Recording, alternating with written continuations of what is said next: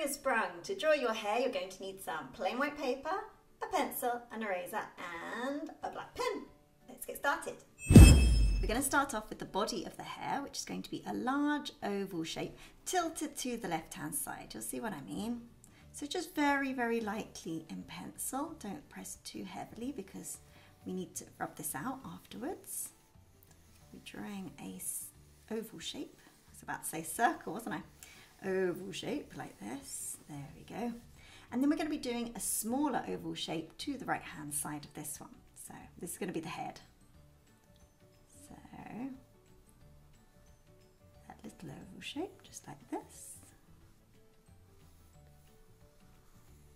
Doesn't matter if it's not perfect, these are just preparatory lines. This is just to help us decide what the composition and size is like, okay?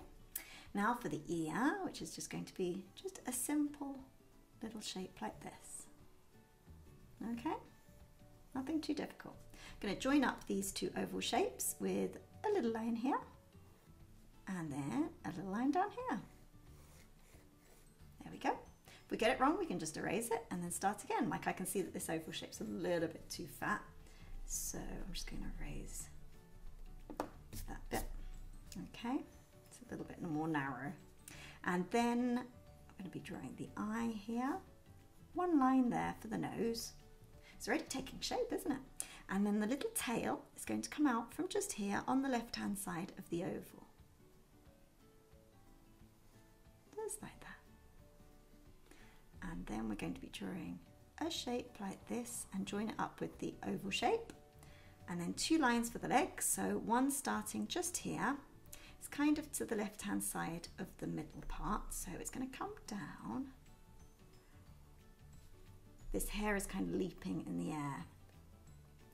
It's going to come down to the right, and then it's going to be the foot, and then the other one is just going to be poking out from the back. Come down, and then the little foot. Okay, I'm going to be switching to pen, but please carry on in pencil. This is just so that you can see it better on camera. Okay, I'm going to be starting off with the ears. So just about here, I'm going to be starting the base of the ear. Go all the way up, and it kind of goes to the left-hand side. Has a little dip at the top, comes out, and then round. Now I'm just going to draw some little furry lines on the inside, just look like this. Show that's super furry and then one on the other side. There we go, not too hard. Okay, now for the rest of the head. So we're going to be drawing the front of the hare. There we go. Comes all the way down to this nose. So just like that. That's a little nose. And then it comes down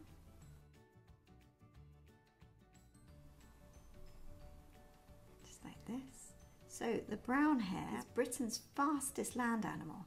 It can reach up to 45 miles per hour. That's incredible, isn't it? When you think about it, that really surprised me because I thought, well, maybe dogs or I don't know, they could be a lot faster, but no, apparently not. Apparently it's the brown hare.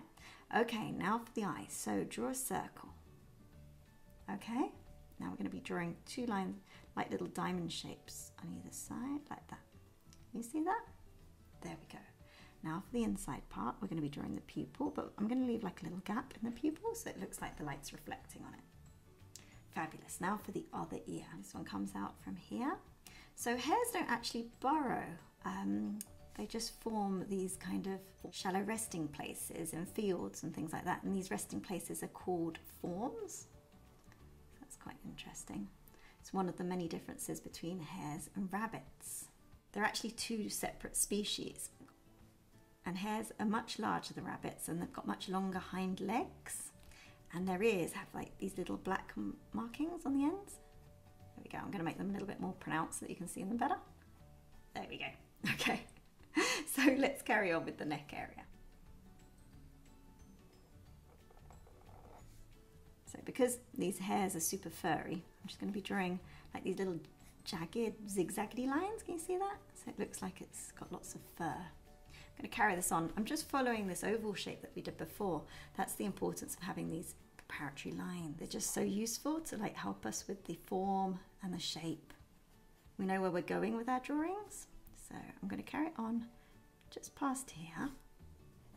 And then I'm going to stop just here for the time being. I'm going to be doing the little tail, which is super, super fluffy. So lots of these little fluffy lines underneath like that. And then now for the legs. So we're going to be starting on either side of this line here. So one part of the leg goes there, one part of the leg goes there. So I'm going to be starting on this side of the leg. It's going to come down and then it's going to come down a bit more. Then we're going to start the foot. So these are kind of like the toes.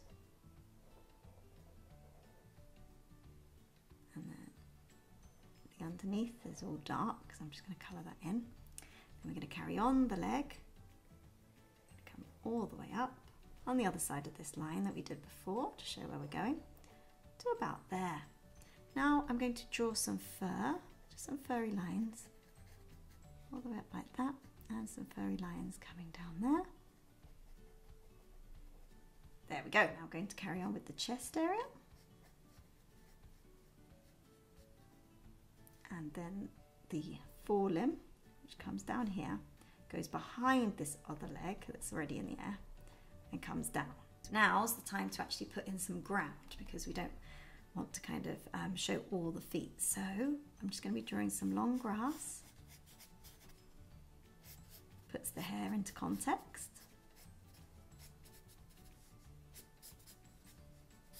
It looks like it's just running through a field.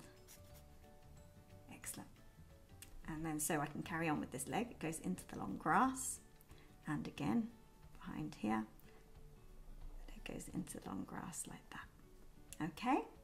Now for the other hind leg, which is also peeping out from behind here, I'm going to be drawing a line just coming down like this and to the front and then some toes underneath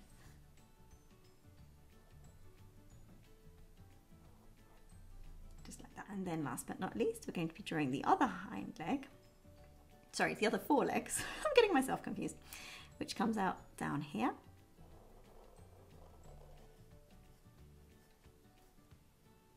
And then the front of it comes down and round just like so. This is the front of it here. So if you haven't gone over it in pen already, go over it in pen and then erase all the pencil lines. Okay, now we're just going to add a little bit of the finishing touches. So some shadow first, so particularly in areas of shadow underneath, just here. Just adding a little bit more shadow and particularly on the other hind legs.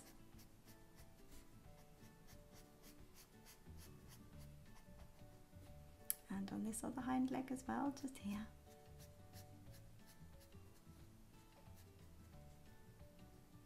Just like that. And on the back of this leg as well. So newborn hares are called leverets and they're fully developed at birth. So that means they've got lots of fur and their eyes are actually open. Okay, now for the other foreleg. Very confusing when the forelegs are actually behind the back legs. So just a little bit of shadow just like that. And then some shadow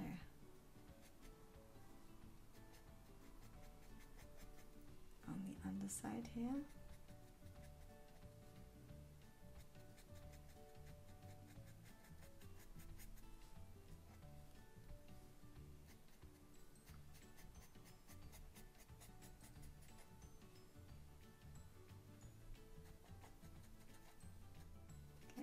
Bit shadow on the front of this one. And then behind here.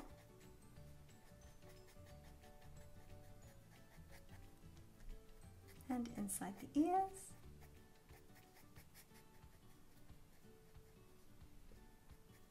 Behind here as well.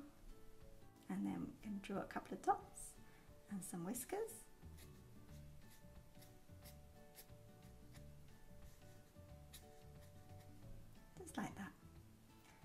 Some hair around the eyes. some fur around the eyes really.